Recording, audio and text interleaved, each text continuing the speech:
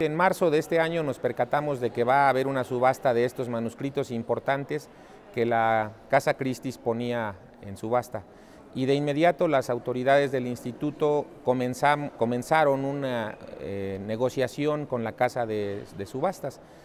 El manuscrito no salió en subasta, el gobierno mexicano logró que se adquiriese sin que esto sucediera pagando aproximadamente 14 millones de pesos.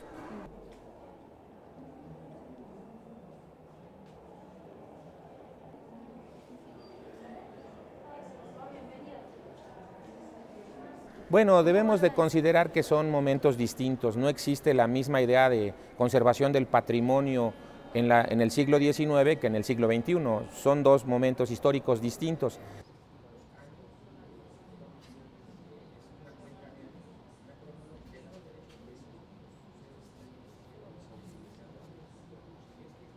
El orden de, de, de la corona española, de los españoles como tal. Pero acércate.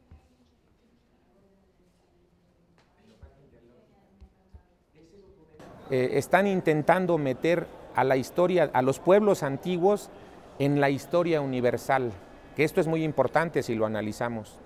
No somos pueblos este, antiguos que tienen un, o que no tienen historia, como se pensó mucho tiempo, o que esa historia no es importante.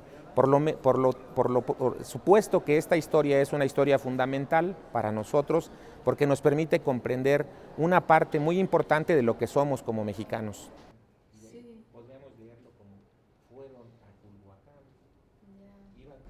es de aquí para abajo. Ajá. Entonces cuando se unen esas, esas dos este, imágenes,